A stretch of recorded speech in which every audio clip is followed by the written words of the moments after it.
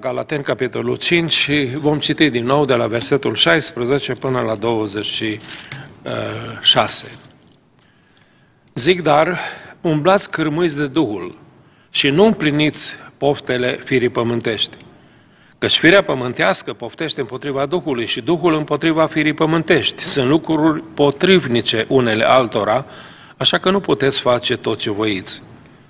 Dacă sunteți călăuziți de Duhul, nu sunteți sub lege, și faptele firii pământești sunt cunoscute și sunt acestea, preacurvia, curvia, necurăția, desfrânarea, închinarea la idoli, vrăjitoria, vrăjbile, certurile, zavistiile, mâniile, neînțelegerile, dezbinările, certurile de partide, pismele, uciderile, bețiile, îmbuibările și alte lucruri asemănătoare cu acestea. Vă spun mai dinainte, cum am mai spus, că cei ce fac astfel de lucruri nu vor moșteni împărăția lui Dumnezeu. Roada Duhului, din potrivă, este dragostea, bucuria, pacea, îndelunga răbdare, bunătatea, facerea de bine, credincioșia, blândețea, înfrânarea poftelor. Împotriva acestor lucruri nu este lege. Cei ce sunt al lui Hristos Iisus și-au răstignit firea pământească împreună cu patimile și poftele ei. Dacă trăim prin Duhul, să și umblăm prin Duhul, să nu umblăm după o slavă deșartă, întărâtându-ne unii pe alții și pismuindu-ne unii pe alții. Amin. Să ocupăm locurile. Frați și surori, în seara aceasta, subiectul pe care îl avem de discutat este roada Duhului, facerea de bine. Facerea de bine.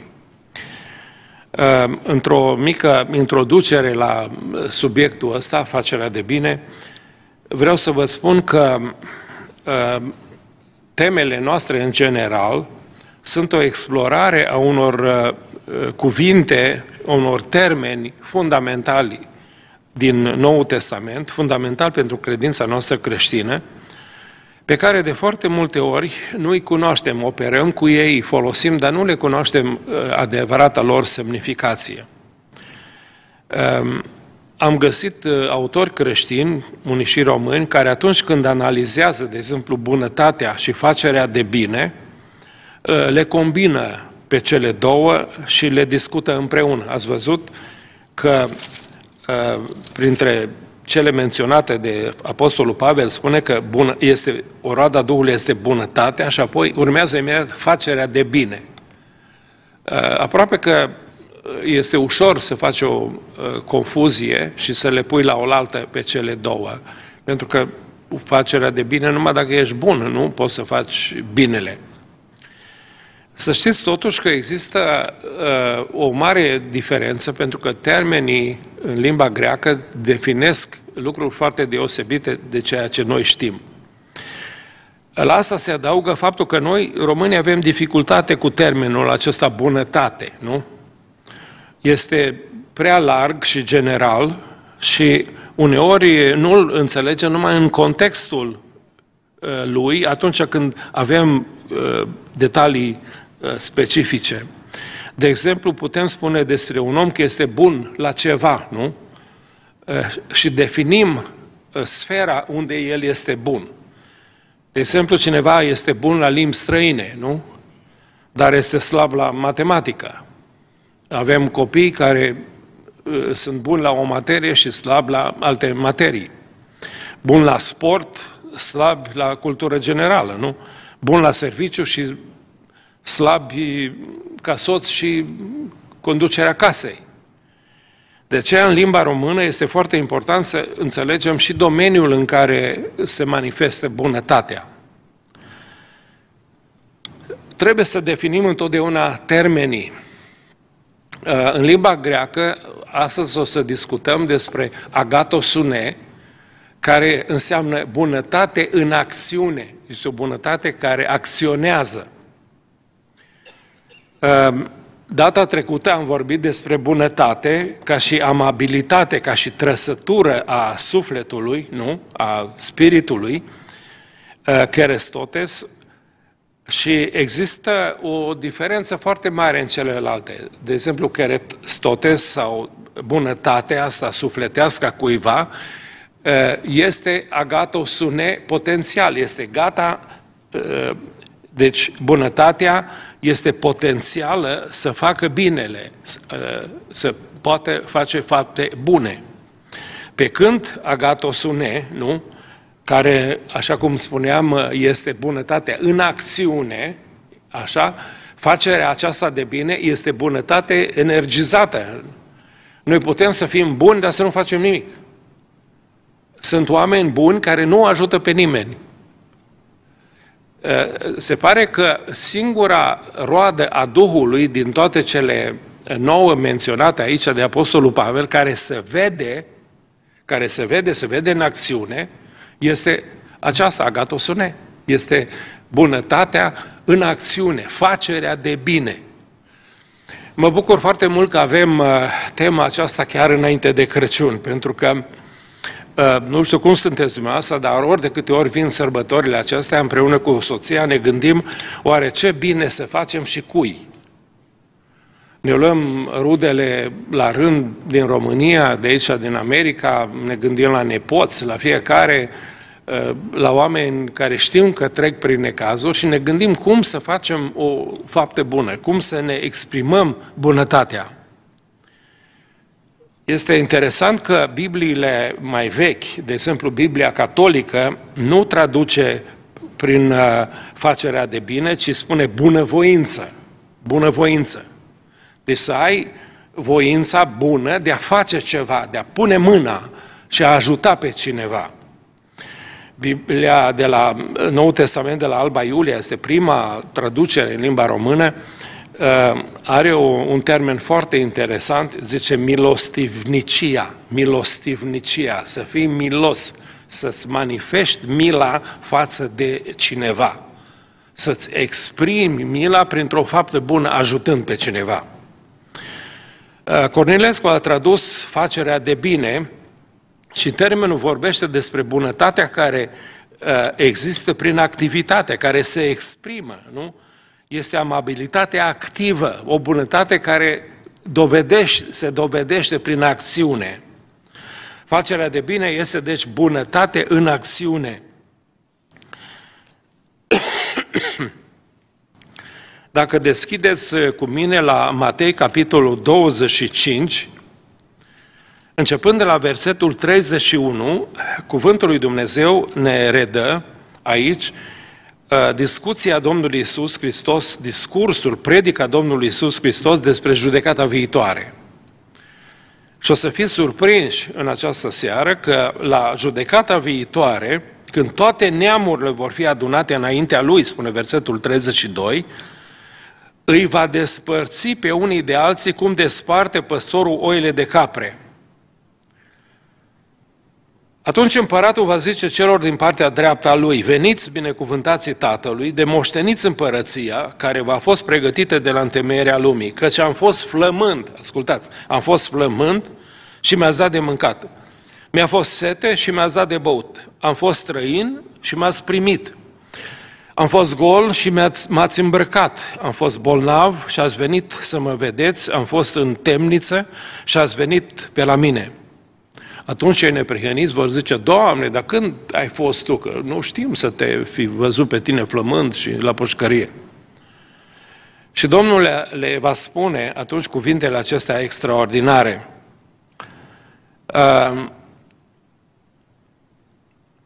Adevărat vă spun că ori de câte ori ați făcut aceste lucruri, unuia dintre acești foarte neînsemnați, observați, foarte neînsemnați, frații ai mei, mie mi le-ați făcut.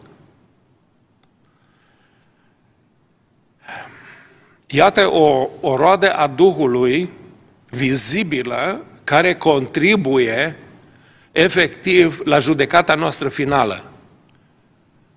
Când vom fi judecați de Domnul, se va lua în, în calcul facerea noastră de bine. Această uh, bunătate în acțiune. Și Domnul se va identifica atunci cu toți cei aflați în necaz pe care noi am ajutat de-a lungul vieții. Dacă ne uităm puțin la versetele acestea, Așa? Ehm, din Matei 25, 34 la 40, uh, vom descoperi câteva lucruri foarte interesante. În primul rând, judecata viitoare se va face cu privire la exersarea acestui aspect al roadei Duhului, afacerii de bine. Nu ne va judeca Domnul uh, nimic cu altceva decât în funcție de felul în care am folosit acest, această roadă a Duhului în relațiile noastre cu cei din jurul nostru. Diferențierea dintre cei ce au și cei ce nu au această roadă e diferența dintre viață și moarte, iad și rai. Uh, Domnul Isus se identifică cu cei aflați în nevoi. Observați, ori de câte ori ați făcut aceste, aceste lucruri celor mai neînsemnați dintre frații mei, mie mi le-ați făcut. Exersarea afacerii de bine este față de însuși Domnul nostru Isus Hristos. Cei ce au facerea de bine sunt surprinși, pentru că ăștia nu țin inventarul, nu? Ăștia fac pentru că asta e natura lor. Fac bine la alții tot timpul și nu țin, oh, am dat atâta, am făcut la acel. Ăștia nu, nu știu. Observați că ceilalți uh, vin la Domnul Isus și uh, lor li se spune, am fost flămând, am fost, uh, mi-a fost sete, am fost în pușcărie și n-ați venit pe la mine. Duceți-vă de la mine. Atunci îi vor răspunde, Doamne, când te-am văzut noi flămând, fiindcă, ă, sau fiind sete,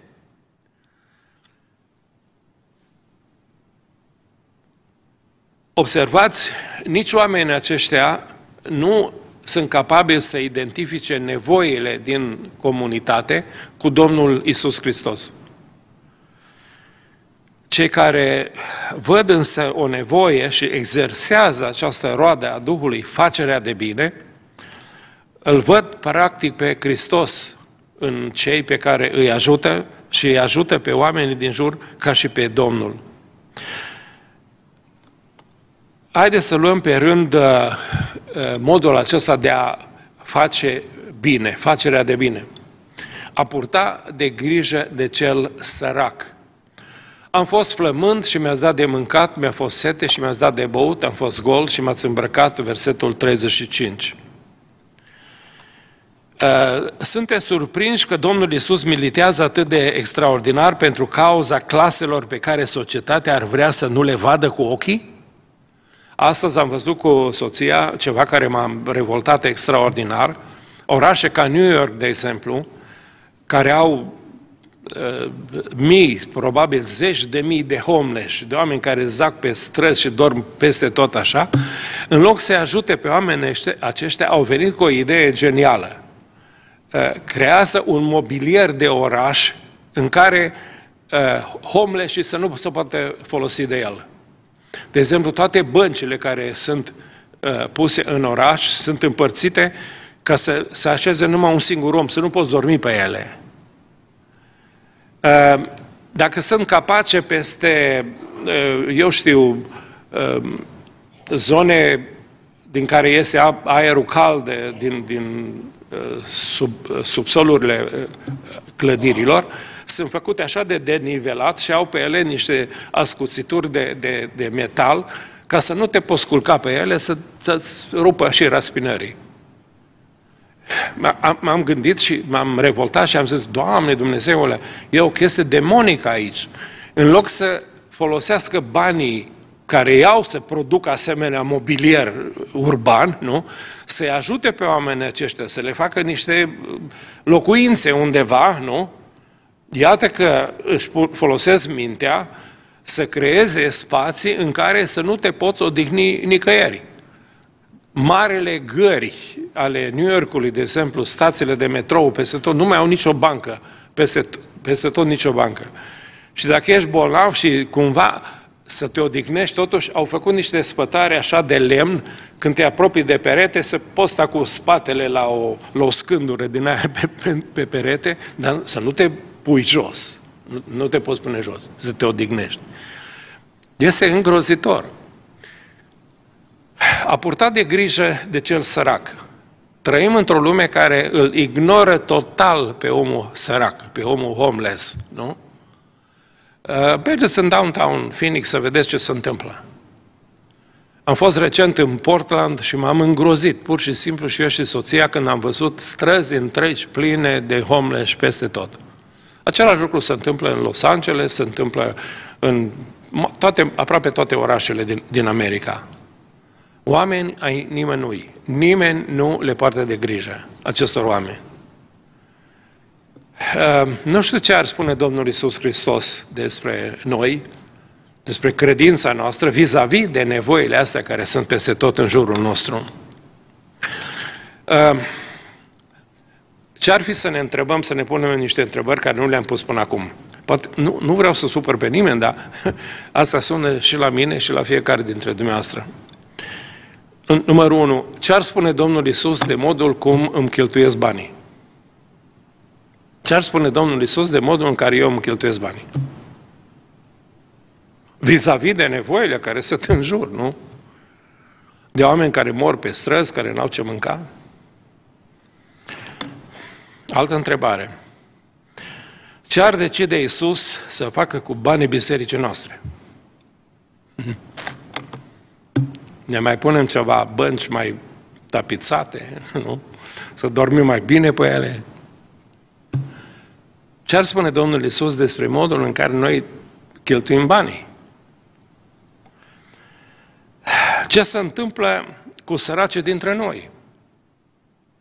A, nu, toți suntem bogați, toți suntem egali. Oare așa să fie? Ce ar fi să ne uh, întoarcem puțin la Evanghelia socială, nu? Ce facem noi, în definitiv, pentru cel sărac, pentru omul aflat în nevoie? Noi, creștini, în biserica de astăzi. Noi înșine. Ce facem pentru săracul din jurul nostru? Uh, Mama soacră a fost o femeie absolut specială pentru multe, în multe, multe domenii. Unul dintre ele, pe care eu foarte târziu l-am înțeles, asta a invitat cam de două ori pe an toate văduvele din biserică la noi acasă. Și nu erau puține. Era o biserică mare, erau 30-40. Făceau o masă ca nuntă, ca de nuntă pentru ele de la salată de băf, supă, sarmale, prăjituri și de toate absolut și le trata pe femeile acestea ca pe niște prințese. Pentru că ea așa simțea că trebuie să facă pentru omul aflat și uh, omul sărac. Femeia aceasta avea, pe lângă fata pe care o avea nevastă mea, mai avea câteva fete din biserică pe care le înfiase. Erau dacă cumpăra o rochie lui Rodica, cumpăra rochii și la fetele alea. Cosea, avea mașină de cusut și le cosea rochii și la fetele alea pe care le înfiase ea. Um, facerea asta de bine a cam dispărut dintre noi. așa De fapt, ea venea dintr-o familie de tradiție în acest uh, domeniu. Mama ei, tot Floare, o chema Nană Floare, a avut o uh, avere foarte mare într-un sat aproape de, de Oradea și a avut o slugă pe Șandor. Șandor era un ungur care nu prea îi plăcea să lucreze uh, și Nană Floare niciodată nu-l certa, îl lăsa să doarmă, mai zicea iară, iară de ploaie că doarme Șandor. Uh, îi dădea de mâncare să ducă acasă la familie, s-a purtat foarte faine cu omul ăsta care era și, și leneș. Ei bine, a venit colectivul, a venit comunismul, cine a ajuns primarul satului? Șandor. Șandor a ajuns primarul satului. Știți ce a zis? Nană Floare, dacă n-ai fi fost femeie de treabă cu, cu mine, azi erai la canal. Pentru că în vremea aceea ăștia trimiteau pe bogați, pe cheaburi, nu? Îi trimiteau la canal sau, la, sau în bărăgan. Uh, Nana Floare a scăpat pentru că a fost bună uh, cu, cu Șandor. Știți că Biblia e plină de oameni săraci? Moise este fiul unui, unui levit sărac, Gedeon este un secerător sărac, David este un cioban sărac, Amos un păzitor de turme sărac și el. Apostolii majoritatea au fost oameni săraci needucați. Se spune că împăratul l-a arestat pe Sfântul Laurențiu, despre care s-a dus vorba că ăsta a furat comoara bisericii și a ascuns-o. În fața tribunalului s-a cerut să spună unde a ascuns comoara bisericii. Sfântul Laurențiu a promis că în trei zile o să aducă întreaga comoară a bisericii înapoi. După trei zile, Sfântul Laurențiu a adunat sărace și bonlavi cărora le distribuise banii bisericii și aducându-i în fața prefectului a spus, aici este comoara Bisericii lui Iisus Hristos. Asta este comoara pe care am luat-o eu. Filiala din, din Oradea a cunoscut o dramă formidabilă. Președintele filialei de atunci, fratele Ionel, că așa îl chema, cu secretarul, fratele Chiș Mihai, au intrat la pușcărie pentru că ăștia s-au dus, a, a ajutat cu banii filiale, au ajutat săraci din, din jur. Erau oameni săraci, imediat după război, venise comunismul, nenorocire mare. Și au intrat la pușcărie amândoi oamenii ăștia pentru că au ajutat săracii. Okay? Se spune că în aprilie 1999 un om mascat cu o pușcă a intrat într-o biserică din New Orleans. După ce i-a amenințat pe toți cu pușca, a făcut colecta la cei peste 100 de participanți la serviciu divin. A plecat bombănind, nemulțumind, privind la prea multe bagnote de un dolar pe care le-a colectat. Nici, nici cu amenințarea pistolului n-au dat ăștia bani la biserică. Dar am să vă spun acum uh, o uh, poveste adevărată. Mulți dintre dumneavoastră aveți ori pastă de dids, ori ceva palmolive sau Colgate acasă. Ne spălăm pe dinți și acum cu ea. Cu 200 de ani în urmă aproape, un băiat foarte sărac, cu o boțeluță în mână în care avea singurele lucruri care le mai putea duce, a plecat uh, departe de casa plină de sărăcie în care a crescut, să-și găsească norocul în lume. William a plecat într-o lume în care voia să-și caute de lucru, să se susțină singur, să nu mai depindă de părinți, dar în, în oraș a întâlnit un vechi vecin, care acum era capitanul unui vas, vas comercial, uh, naviga pe râurile Americii și acesta, după ce l-a întrebat unde merge băiețașul ăsta cu boceluța asta în spate, um, uh, i-a spus, uite, știi ceva, uh, hai să ne rugăm lui Dumnezeu, a zis capitanul acela, era un om foarte credincios, ca Dumnezeu să-ți dea un sfat, să te ajute încotro să o iei, să faci cu viața ta. Au îngenunchiat în plină stradă și s-au rugat amândoi. Ehm, după ce s-au rugat, omul acela a spus, cineva va fi cel mai mare producător de săpun din New York. Poți fi tu acela sau altcineva. Ce știi să faci? Știi să faci săpun? Da, a zis el, m-a învățat mama să fac săpun. Uh, atunci, uh, fii tu omul acela, a zis capitanul, uh, fii tu omul acela bun și dăruiește ținema lui Isus Hristos și dă Domnului ceea ce îi se cuvine lui din fiecare dolar pe care îi să câștigi. Fă săpun și fă săpun bun, și sunt sigur că vei fi un om bogat și prosper. La New York, Williams a avut um, dificultăți până și-a găsit o slujbă, a urmat sfatul vecinului său, s-a predat Domnului Iisus Hristos, s-a făcut membru într-o biserică și din primii bani a început să dea a zecea parte uh, Domnului. După fondarea companiei de săpun, a început să dea 20%, pe urmă 30%, pe urmă 50% din câștigul companiei. Spre sfârșitul vieții sale, dăruia Domnului 100% din tot ce câștiga. Probabil că azi dimineață v-a spălat pe dinți cu o pastă Colgate. Este produsul viabil și astăzi, după 200 de ani, a unui tinerel sărac care a dat Domnului cu credincioșie toată viața lui. Domnul se îngrijește de cel sărac. O altă facere de bine este al primi bine pe străin. Am fost străin, spunea Domnul, și m-ați primit. Um, am, să vă, am să vă spun o istorie foarte reală și mă bucur că um, am aici un martor în, în biserică la lucrul ăsta. Într-o zi m-a sunat cineva și mi-a spus, domnule pastor, am auzit uh, că voi, pocăiții, aveți grijă de cei ai nimănui. Dar cum așa? Păi zice, eu sunt un român care am trecut granița fraudulos, m-au dus niște mexicani cu o mașină mare și acum suntem aici vreo 25 de persoane într-o casă și nu știu unde să mă duc și ce să fac.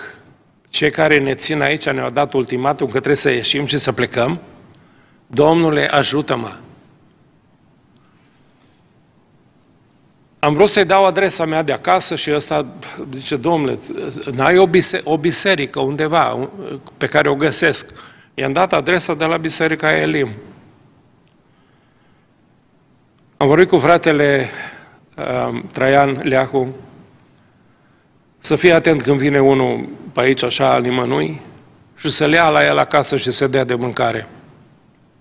Fratele Traian Leacu a primit pe străin, pe un necunoscut, l-a luat, l-a luat la el acasă și l-a ținut câteva zile, după care l-am luat eu acasă la mine și l-am ținut două săptămâni. Voia să plece în Chicago și nu puteam să-l trimitem cu nimic, pentru că omul nu avea acte, nu puteam să-l pun pe avion, nu puteam să-l pun pe tren, pe nimica.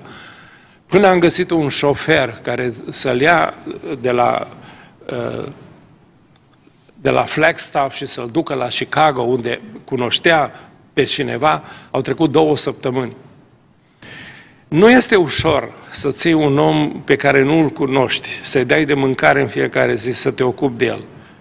Nu este deloc ușor. A, băieții mei, zice, Daddy, tati, zice, n-am știut că ești un coyote, că așa le zice la ăștia care se ocupă de emigranți. Pastorul e și coyote, nu? A, Primirea de oaspeți este una dintre datoriile creștine fundamentale. Știți asta? Unii au primit pe sfinți, au primit pe îngeri, fără să știe, spune cuvântul lui Dumnezeu. În Romani 12 cu 13 se spune așa de frumos, ajutați pe sfinți când sunt în nevoie, fiți primitori de oaspeți. Și uneori sau două săptămâni. Nu? Prezbiterii și diaconii aleși de, biserică, de biserică trebuie să fie primitori de oaspeți, spune 1 Timotei 3 cu 2 și uh, Tit 1 cu 8. Fiți primitori de oaspeți între voi fără cârtire, spune 1 Petru 4 cu 9. Pentru că îți vine să cârtești, că ăștia nu mai pleacă, domnule, și mănâncă mult și, și stau pe capul tău, nu? Uh, în Evrei 13 cu 2 este un verset extraordinar, zice, să nu dați uitării primirea de oaspeți, că unii prin ea au găzduit pe îngeri. Au găzduit pe îngeri. Um,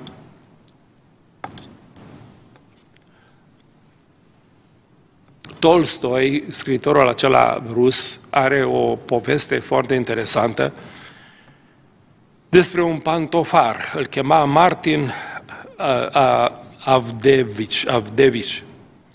Era un pantofar, dar omul ăsta era și credincios. Într-o zi a citit el în Scriptură, așa seara când citea Biblia, și i s-a părut că o, aude o voce care a spus așa, Martin, uite-te bine pe stradă mâine pentru că am să vin să te vizitez. Convins că Domnul îl va vizita uh, a doua zi, Ăsta și-a făcut ordine în casă, a făcut de mâncare, uh, s-a sculat dimineața emoționat, plin de așteptări, s-a uitat la ceas, s-a uitat pe stradă, n-a venit nimeni, a trecut, au trecut orele. Um, după câțiva oameni necăjiți care au trecut pe lângă el, a venit un bătrân veteran de război, apoi o văduvă săracă, un copil slab îmbrăcat, o cercetoare bătrână, un copil speriat. I-a primit pe toți în casă, le-a dat de mâncare, s-a ocupat de ei. Bun la inimă, a dat fiecăruia câte ceva, ajutându-l după puterile pe care le avea. Și seara a dezamăgit uh, Martin uh, că Domnul nu l-a vizitat, și-a luat ochelarii și a început să citească din nou în Biblie. A citit la Matei 25, am fost flământ și mi-ați dat de mâncare, am fost străin și m-ați primit. Ori de câte ori le-ați făcut pentru mine, le-ați făcut. Și atunci Martin a înțeles, spune Tolstoi, că Domnul l-a vizitat de câteva ori în ziua aceea prin oamenii aceia care au trecut prin casa lui. Un alt domeniu în care ne putem exersa bunătatea, făcând bine, este a îngriji pe cel bolnav. A îngriji pe cel bolnav. Am fost bolnav și așa ați venit să mă vedeți. Um, nu e o simplă vizită la spital. Uh, vizitez un om aflat în nevoie, în mare criza vieții lui, la răscrucea vieții sale. Un om care are nevoie de un cuvânt bun, de o rugăciune, de o încurajare. Cea mai mare nevoie a omului este de Domnul Isus Hristos. Și e extraordinar să ai atunci niște prieteni care te duc la El, te duc la Domnul Isus Hristos. Nu? Paralit, paralit, paraliticul acela avea patru prieteni care l-au dus la Domnul Isus Hristos. Uh, ce să mai spun despre îngrijirea bolnavilor cronici? Uh, familiile care au bolnavi aceia o viață întreagă, care au nevoie de ajutor, de înțelegere, uh, oare mai avem inimă să dăm o mână de ajutor acolo? Ce spune de supa aia pentru cel bolnav, nu? Mâncarea de care au nevoie bolnavii. Ar trebui să ne gândim la lucrurile acestea foarte bine, pentru că a face bine înseamnă a și îngriji pe cel bolnav, a îngriji de cel bolnav. Apoi urmează în al patrulea rând grija de cel asuprit. Am fost în temniță și ați venit la mine, spune Domnul Isus Hristos. În Evrei 13 cu 3 este un verset extraordinar. Aduceți-vă aminte de cei ce sunt în lanțuri, ca și cum ați fi legați și voi cu ei de cei chinuiți ca unii care și voi sunteți în trup. Gândiți-vă la oamenii aceștia, spune uh, Sfânta Scriptură. La omul asuprit. Uh, haideți să ne gândim puțin la simbriașul acela neplătit a exploat, uh, omului exploatat. Știți că sindicatele s-au născut exact din porunca asta Domnului de a îngriji de cel asuprit? sindicatele care au grijă de muncitorul care era nedreptățit de patron, uh, drepturile omului, noi, mai ales cei din România care am fugit, vorbeam mult despre drepturile omului. În sfârșit auzisem și noi că avem ceva drepturi, nu? Um, apărarea celui asuprit, oprimat, persecutat, Ehm, rugăciunea pentru cel care suferă pentru o Evanghelie, din pricina Evangheliei. Îi sprijinim oare pe oamenii aceia? Ehm, dacă veți citi istoria oasei Domnului scrisă de Traian Dorz, veți descoperi un lucru absolut șocant. Durerea cea mai mare a lui Traian Dorz este că clerul ortodox care ar fi trebuit să-l susțină, să se roage pentru el eventual, nu? Îl, îl asupreau și i-au întors spatele. Să simțea trădat de proprii lui frați. Uh, suportul fraților noștri aflați în închisori. Uh, la Chicago, când fratele Victor Opriș a fost băgat la pușcărie, nu numai că am făcut demonstrații în fața la Daily Plaza pentru eliberarea lui, lui Opriș, dar am, i-am susținut financiar familia în toți anii aceia cât el a fost la pușcărie. Um, demascarea supritorilor este misiunea celui care are grijă de cel asuprit. Uh, apărarea celor lipsiți de ajutor, nu? Uh, ce zicem de, ce spuneți de copiii nenăscuți încă, care sunt omorâți cu milioanele în lumea în care noi trăim. N-ar trebui să-i apere oare cineva? Datoria morală de a-l apăra pe omul nevinovat, de a sări pentru ajutorul celui nevinovat. Uh, asta înseamnă grijă de cel asuprit. Uh, este un, un alt domeniu, este ridicarea celui căzut. Trebuie să-l încurajăm pe cel căzut, spune Sfânta Scriptură. Domnul lasă pe cele 99 de oi și se duce să o caute pe aia pierdută. Ea este în pericol. Avem responsabilitatea încurajării celui care cade de la pocăință. Din păcate însă, de cele mai multe ori, biserica de astăzi este ca o știre care își împușcă răniții, nu-i tratează. Dacă ești rănit în lupta cu diavolul, ești dat afară, ești exclus, ești... Uh, nu te ajută nimeni să te recuperezi, să te vindeci de boala uh, care a dat peste tine. Uh, am mai spus asta și o mai spun încă o dată pentru că se potrivește grozav de bine aici. Într-un decembrie, în timpul comunismului în România, am, am predicat într-o lună de zile în 40 de biserici. Am o agendă și acum am fost și în trei uh, localități în aceeași seară. Predicam într-o biserică, fugeam la alta și uneori și în trei biserici am predicat în, fie, uh, în fiecare seară.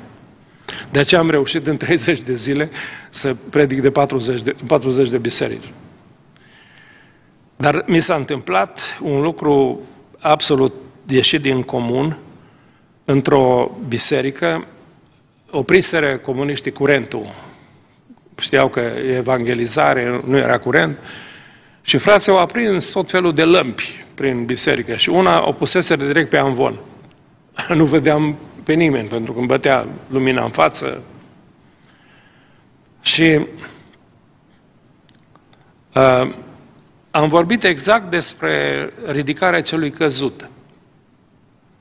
Și am zis, mă, fraților, dacă vine la voi Ion, am dat un exemplu așa care mi-a trecut mie prin cap în momentul acela, fără să știu că, de fapt, uh, Dumnezeu mă folosea ca și profet în momentul acela.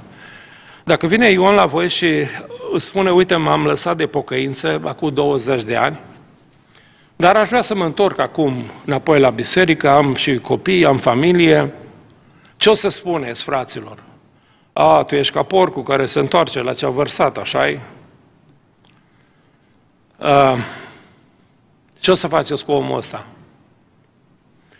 Am uh, simțit că în momentul ăla se petrece un fel de mișcare în biserică, un fel de șoapte și nu știam ce se întâmplă absolut deloc. Mi-am terminat predica și la sfârșit m-a așteptat comitetul bisericii să stea de vorbă cu mine într-o sală din spate. Ce frate, de unde știi de Ion? care Ion? Păi de ăla de care ai vorbit.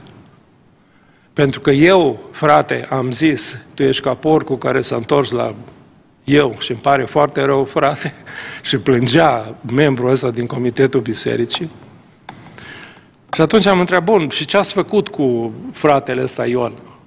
Zice, fratele Ion a, mi-a zis să-ți fie rușine și în momentul ăla s-a întors la biserică și el și toți copiii lui, zice el, și sunt aici în biserică, în curând copiii s-au botezat, Uh, și zice, Domnul ne-a dat pe față acum cu, cu ce s-a întâmplat. Oamenii căzuți trebuie să se întoarcă la Dumnezeu, să fie reabilitați, să fie ridicați de acolo. Eu aveam o vorbă pentru care am suferit destul de mult. Eu cred că există două feluri de pocăiți. Pocăiți prinși și neprinși. Prinși și neprinși. Nenorocirea care este? Că ăia neprinși îi dau afară pe ăia prinși. În loc să-i ajute și să se pocăiască toți. Dar pocăiții, păcătoșii, neprinși, îi dau afară pe ăia prinși. Și atunci, în jurul bisericilor noastre sunt un fel de nor de martori, tot felul de excluși, tot felul de uh, respinși, respinși bisericii. Eu am încercat să fac o biserică cu din ăștia. N-a funcționat. Pentru că aveam și eu în biserică tot păcătoși din ăștia neprinși, că nu puteau să ierte pe ăștia prinși nici cum. Oamenii care au păcătuit au nevoie de ajutor. Una dintre marele mele bucurii în viață este că într-un oraș mare din România, unde un dirijor de cor fusese dat afară, exclus, pentru un păcat mizerabil, făcuse un copil la o membră din corul bisericii. Și trecuseră vreo 15-20 de ani în care omul ăsta a fost aruncat în toate mizerile posibile. Omul ăsta s-a predat la una dintre predicile mele și am stat alături de el și l-am, ajutat, l-am ajutat să se întoarcă la Dumnezeu cu adevărat, să se pocăiască. Și asta e una dintre bucuriile mele, pentru că pe urmă a venit și a devenit și aici, în America, a devenit un om deosebit și a făcut lucruri mari pentru împărăția lui Dumnezeu. Fă bine vrăjmașilor tăi, un alt domeniu. Dar eu vă spun, spune Domnul Iisus Hristos, Iubiți pe vrăjmașii voștri, binecuvântați pe cei ce vă mă faceți bine celor ce vă urăsc și rugați-vă pentru cei ce vă asupresc și vă prigonesc, ca să fiți fii ai Tatălui vostru care este în ceruri, căci El face să răsare soarele său peste cei răi și peste cei buni și de ploaie peste cei drepți și peste cei nedrepți. Iubirea dușmanilor este prin binecuvântarea, prin vorbirea lor de bine, dar și prin facerea de bine, nu? Când poți să faci ceva pentru ei, nu numai să te rogi, dar să-i ajuți pe oamenii aceia.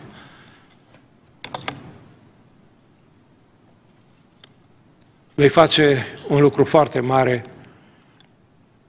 făcând o faptă bună pentru uh, slava lui Dumnezeu și a împărăției sale. În concluzie, vreau să spun uh, două lucruri. O bună parte din facerea de bine este milostenia față de omul aflat în nevoie. Um, câteva principii foarte importante. Numărul unu, milostenia trebuie făcută în secret. Ok?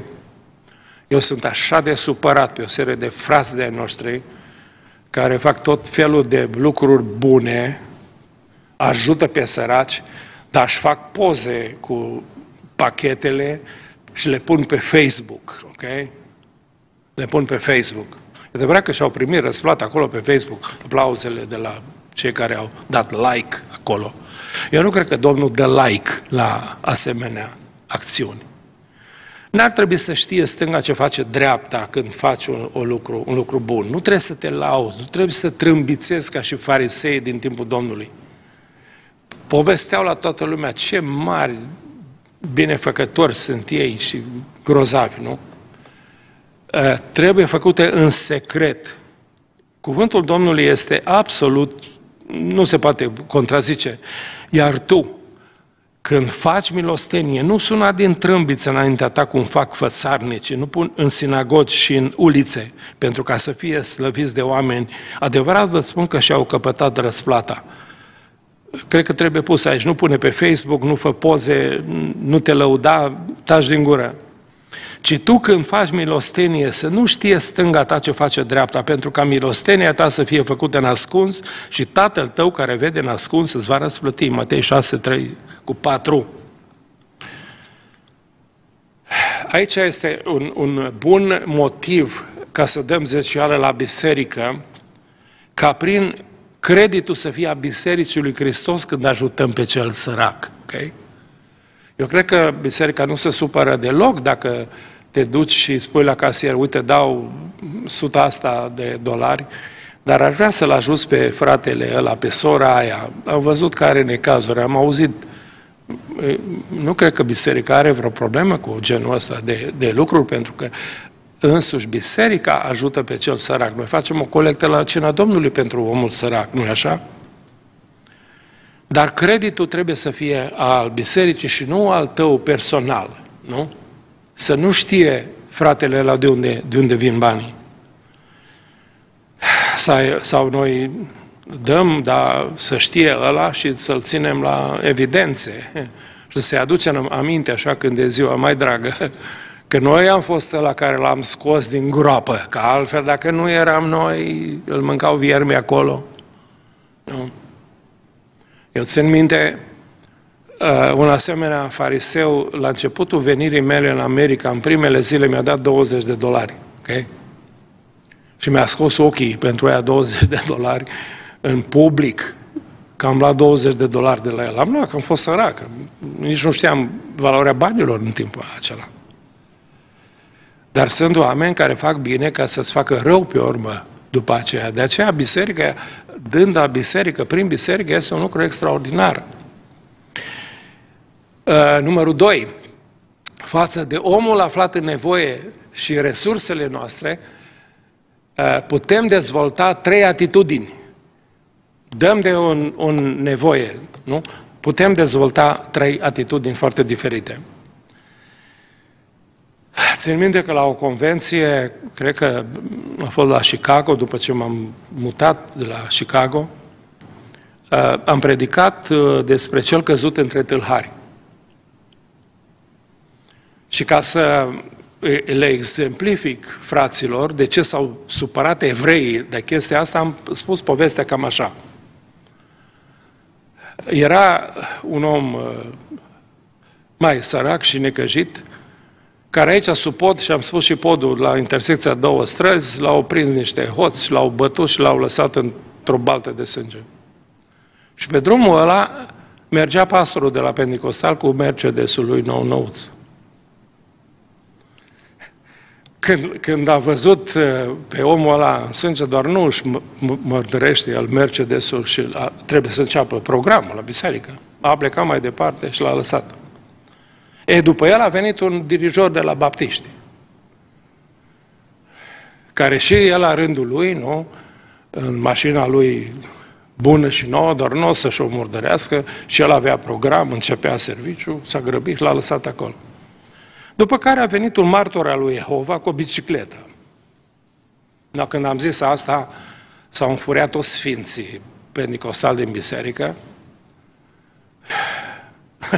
și m-au chemat la ședință după aia.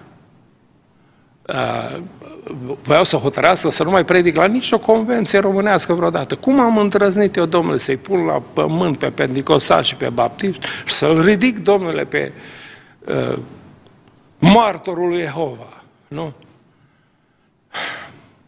Eu zic, mă, oameni buni, am spus asta ca să vă enervez. Așa cum Domnul Isus a spus pilda asta, să le sară capacele la toți jidanii, la toți evrei, ok? Când a spus că era samaritean uh, omul ăla, ok? De aia am spus așa, să vă demonstrez că nu sunteți cu nimic mai bun decât popa și uh, cantorul de care am vorbit. Mă rog, am avut un scandal așa eclesiastic destul de zdravă, dar un prieten de-a meu a scris imediat un articol extraordinar, Bicicleta Jehovistului, în care a spus că tot ce am învățat la convenție s-a redus la povestea asta. E bine, în fața unei nevoi noi putem avea trei atitudini, trei filozofii foarte diferite. Este filozofia tâlharului, care zice așa, ce al tău e al meu și am să-l iau. Din păcate, până și între pocăiți există această filozofie a tâlharului. Și să nu-l angajezi pe ăsta cumva, să nu faci deal cumva cu el, că îi bai. Ăsta așa gândește. Eu câștig și tu pierzi. Ăsta așa gândește. Nu ai, n-ai cum, n-ai cum să faci uh, afaceri cu el. Ăsta e tâlhar. Da, există și filozofia preotului și a levitului, nu? Hmm. Ce al meu, al meu și n-am să împart cu nimeni. Asta e mașina mea, nu am să murdăresc, ăsta e al meu, eu am muncit, e banul meu, transpirația mea. Cine să ăștia, domnule? Ce? Să muncească toată lumea. E? Mulți dintre noi gândim așa? Foarte rar este filozofia samariteanului, care e simplă. Ce al meu e și al tău și îmi face mare plăcere să-ți dăruiesc. Asta e al nostru. Îmi place, face plăcere să-ți dăruiesc. Uh, în fața nevoilor care sunt în jurul nostru, Duhul Sfânt rodește această roadă extraordinară, facerea de bine. Facerea de bine. Lăsați-o în acțiune, puneți-o în acțiune. Este timpul acesta de, de Christmas. Fiți bun cu cineva. Okay? Faceți un dar cuiva.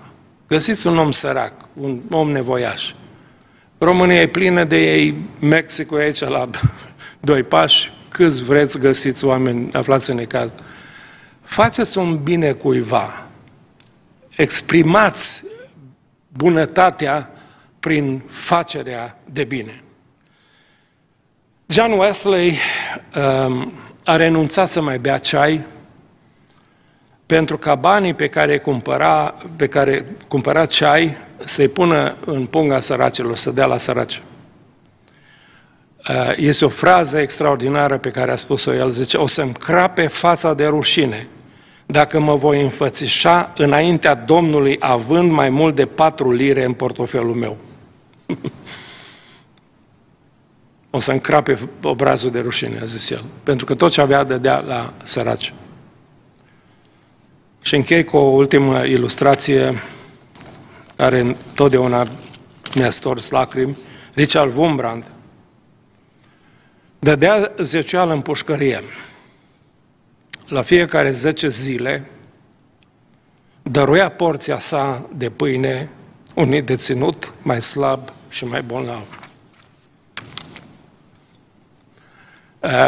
Dacă vrei să faci bine, poți să ai faci bine oriunde în lumea asta.